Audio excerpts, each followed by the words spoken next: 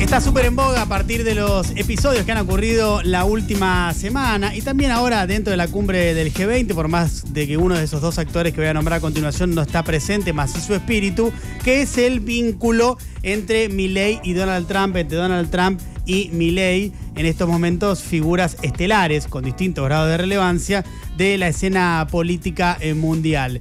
Y claro, tienen eh, semejanzas, pero también tienen eh, diferencias. A ver, la globalización económica eh, y financiera en Occidente, impulsada por los Estados Unidos post caída del muro de Berlín, tuvo consecuencias como la desindustrialización, como el empeoramiento de las condiciones laborales, como la concentración del ingreso, como el predominio de la financiarización. Bueno, estos motivos que han afectado severamente a Estados Unidos, que era quien llevaba la bandera en los 90 de ha llegado el fin de la historia, vamos con la globalización, todo va a ser para mejor, tuvo consecuencias eh, indirectas, no pensadas, no previstas, que han perjudicado a ese y a otros tantos países. Y es por ese motivo, entre otros, por los cuales Donald Trump no cree en la globalización. De ninguna manera cree en la globalización. No lo ve como algo eh, positivo. En cambio, Milei sí. Milei cree en la globalización en el sentido de que cree que es un instrumento elemental para la libertad plena de mercado, para abrir todo lo que se pueda a la economía y además también considera que el proteccionismo es un grave problema. Es decir, Milei cree en el fenómeno de la globalización.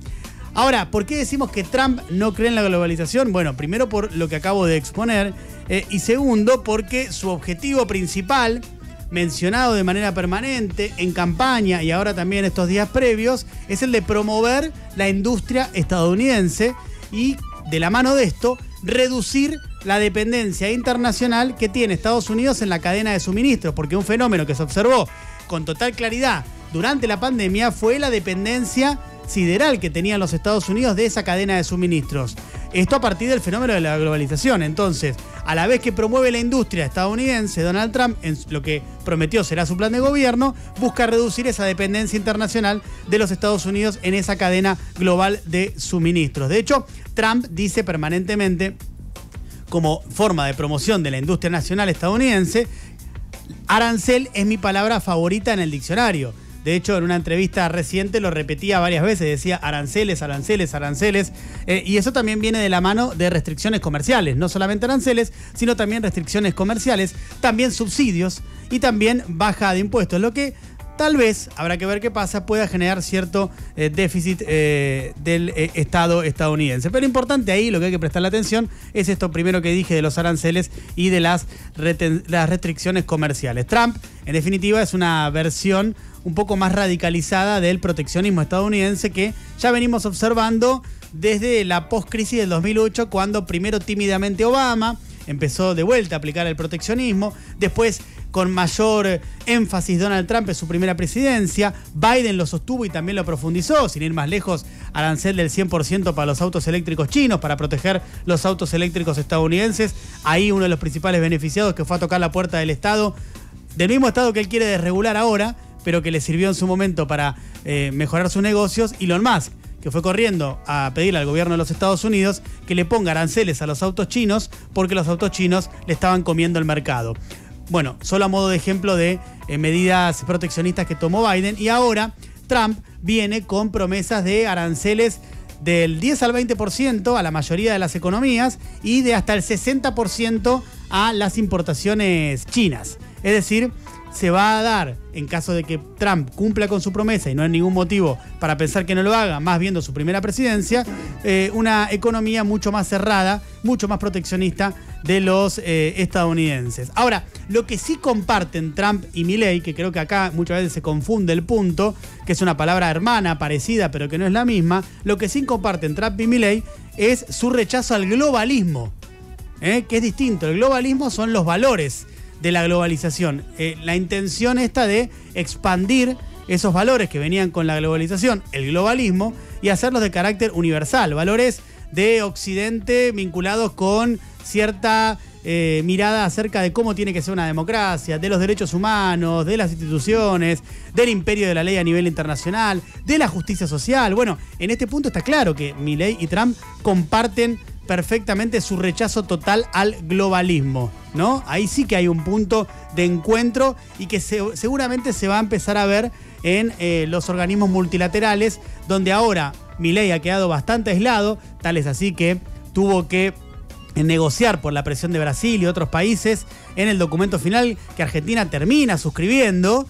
O sea, lo importante es que termina firmando. Después, la oficina del presidente saca un comunicado como tratando de diferenciarse, diciendo, sí, firmamos, pero tal cosa. Firmaste, hermano, listo, adentro. O sea, en el documento final del G20 podés marcar alguna diferencia más, pero vos acordaste las políticas que están en ese lugar.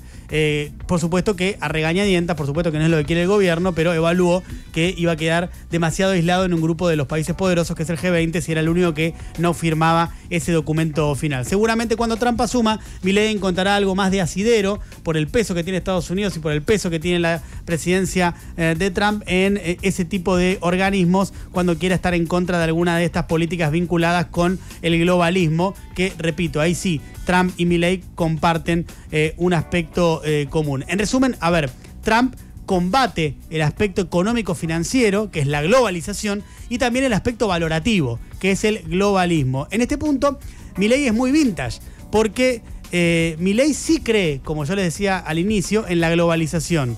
Digamos, podríamos decir que no la ve, porque es el único que cree de los líderes mundiales en la globalización. Es como si tuviera un poco el presidente el prima de los 90 para ver el mundo, cuando Occidente eh, en general en esa década sí creía efectivamente que la globalización era lo mejor que le podía pasar a cada uno de sus países. Hoy, actualmente, 30 años después, no hay un solo país desarrollado o que aspire a hacerlo que no tenga políticas proteccionistas. Algunos tienen eh, algunas políticas proteccionistas, otros tienen muchas, pero todos tienen y todos consideran que son relevantes.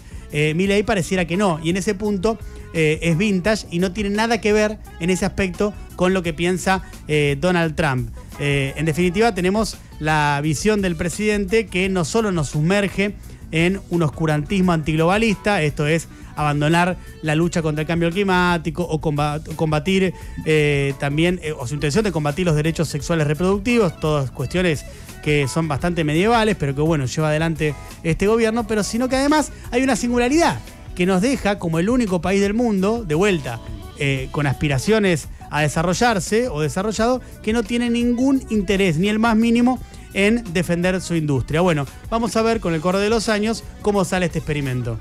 Diego Iglesias hace mejor país del